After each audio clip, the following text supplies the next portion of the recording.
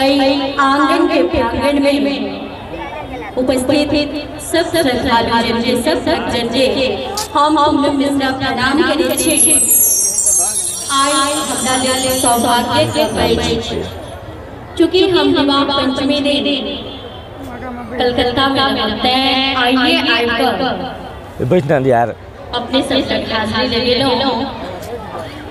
आगे चलो आगे चलो 맞.